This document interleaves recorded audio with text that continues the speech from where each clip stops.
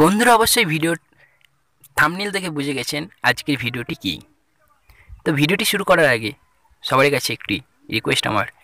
আমার চ্যানেলে যারা নতুন আছেন, অবশ্যই চ্যানেলটিকে সাবস্ক্রাইব করবেন এবং ভিডিওটি যদি একটু ভালো লেগে থাকে, অবশ্যই ভিডিওটি একটি লাইক করবেন। তো চলুন, দেখা যাক আজকের নিউজ মোদির শপথ অনুষ্ঠানে আমন্ত্রণ না পেয়ে চরম শোকাহত পাকিস্তান। লোকসভা নির্বাচনে ফলাফল ঘোষণা হয়ে গেছে। আর এর সাথে সাথে নরেন্দ্র মোদী আরও একবার ভারতের প্রধানমন্ত্রী পদে শপথ নেওয়ার জন্য পুরোপুরি প্রস্তুত।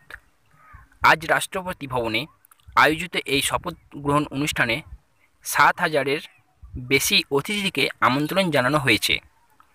পশ্চিমবঙ্গের তৃণমূলের সন্ত্রাসের বলি চুয়ান্নটি বিজেপি কর্মীর পরিবার। অর্থাৎ বন্ধুরা সাত হাজারেরও বেশি অতিথিকে আমন্ত্রণ করেছে এবং যে চুয়ান্নটি পরিবারের ওপর প্লাস তৃণমূলরা যে বলি দিয়েছিলেন চুয়ান্নটি পরিবারের সদস্যকে, তো সেই পরিবারের, সেই চুয়ান্নটি পরিবারকে তিনি আমন্ত্রণ করেছেন। কিন্তু এই অনুষ্ঠানে বাদ গেছে আমাদের প্রতিবেশী দেশ, পাকিস্তানের নাম। গতবার শপথ গ্রহণ অনুষ্ঠানে পাকিস্তানের তৎকালীন প্রধানমন্ত্রী নওয়াজ শরীফকে আমন্ত্রণ জানানো হয়েছিল। এসেছিলেনও তিনি। কিন্তু এবার পাকিস্তানের বর্তমান প্রধানমন্ত্রী ইমরান খানকে আমন্ত্রণ জানানো হয়নি।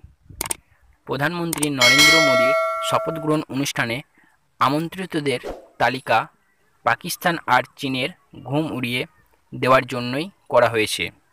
তো বন্ধুরা, ভিডিওটি যদি একটু ভালো লেগে থাকে, অবশ্যই একটি লাইক করবেন। আর যদি ভারতীয় হয়ে থাকেন, অবশ্যই আমার চ্যানেলটিকে সাবস্ক্রাইব করবেন। জয় হিন্দ, বন্দে মাতরম।